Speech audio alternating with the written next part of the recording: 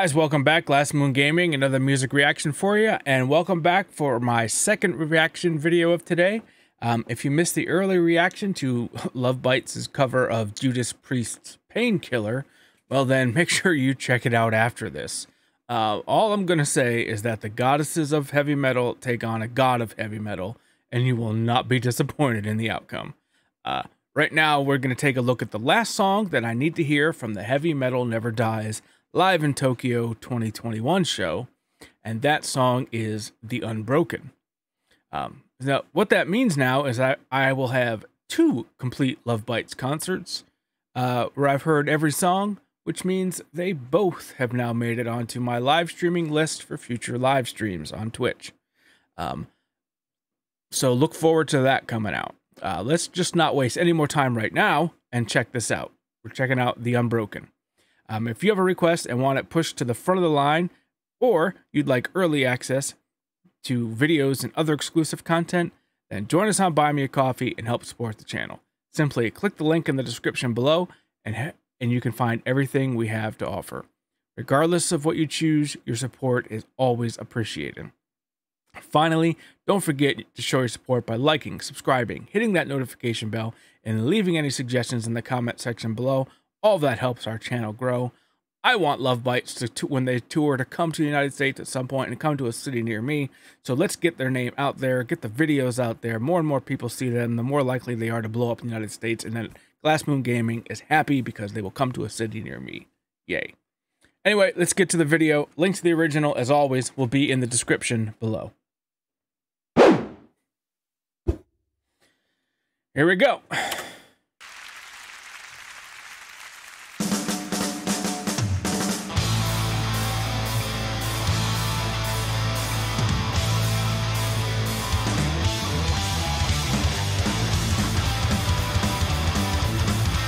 That's a new sound for him.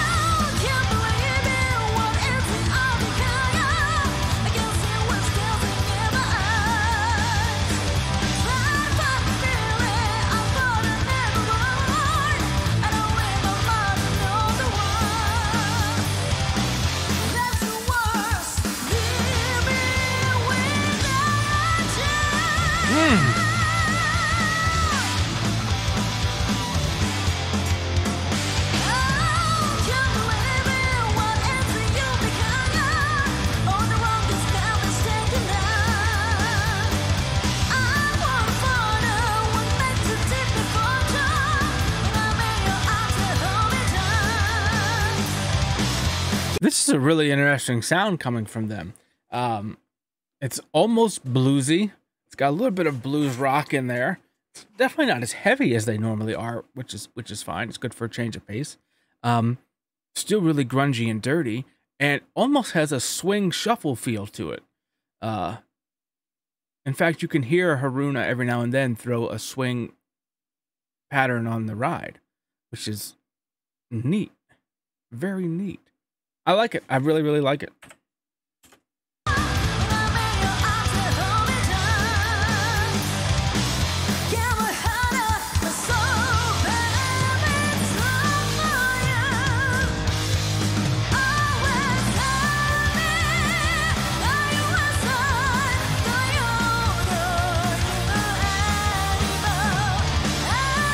Oh yeah, I like this is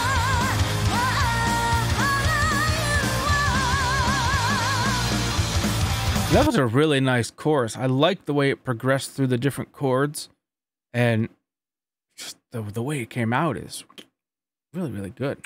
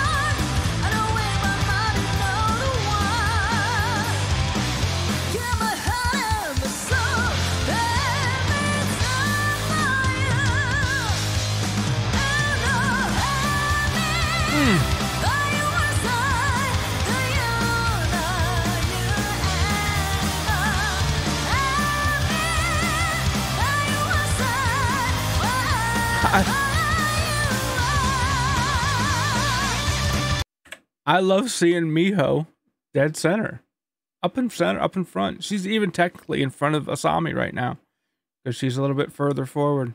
And that's awesome. Still a shame that she's gone, but I heard someone say like by the end of this summer or next month that they're going to announce or they're they're planning to announce their new bass player. Awesome. That's going to be an exciting time. Exciting time for Lovebite fans in the Wolfpack.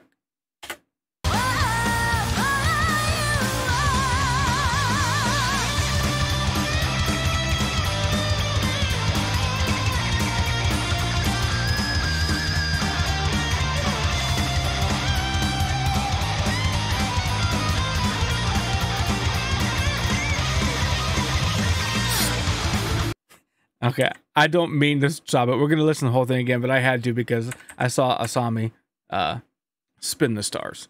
Sorry, that's why we're watching it again.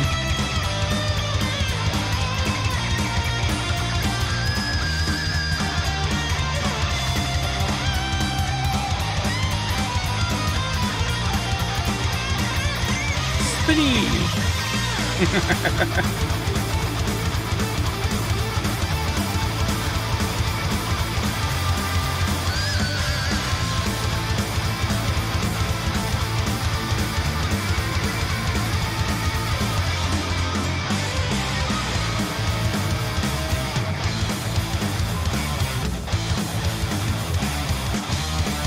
Wow.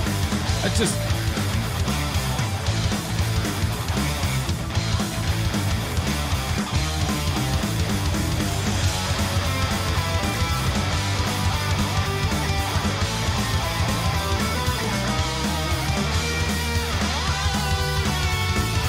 Here's M&M.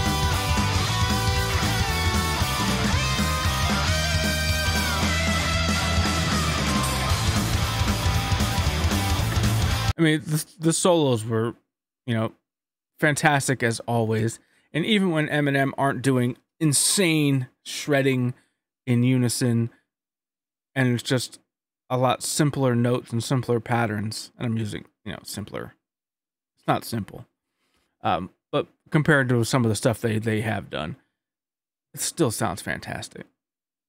Just to prove they don't need to shred every single freaking time they do something. They're just amazing, amazing musicianships to, musicians together, regardless of how they play. Um, and I love Miho's constant bass line going on in the background. It's coming through really nice. Uh, it's fantastic. Love it.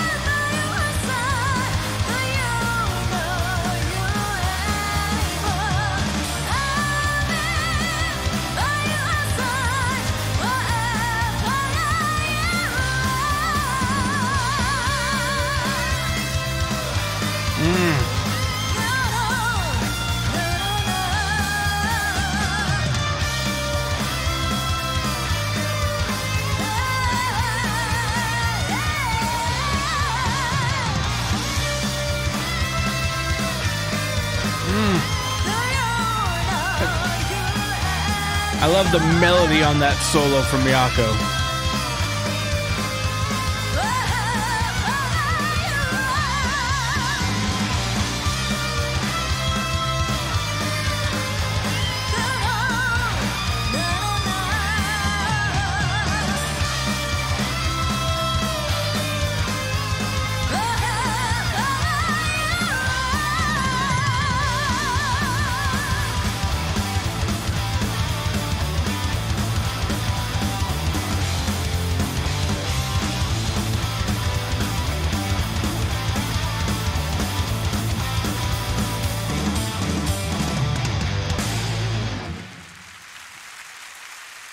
Amazing, amazing, amazing, amazing. All right, let's talk. Yeah, we had a nice, nice different sound from them. A little bit of a, a blues, jazz, shuffle, metal or rock or hard rock because it really wasn't that metalish. It was a lot more hard rockish than their normal style. Um, I mean, it was. I loved it. I love. I loved the change of pace. I loved the change there. Everyone did fantastic. And there's nothing you can really say about any of them. Uh, it was. It was just phenomenal. Even it just shows they don't need to play the fastest stuff in the world or the most difficult stuff in the world. They play something like this, and it comes through.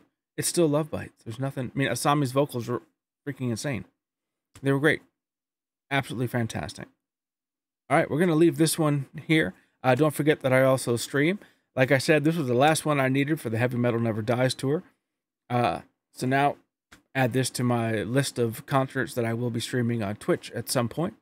Uh, so if you're not following me on Twitch, make sure you are. Uh, links are all in the description uh, below. Don't forget, vote in our Fan Choice Friday poll. Will you guys decide what I react to every Friday?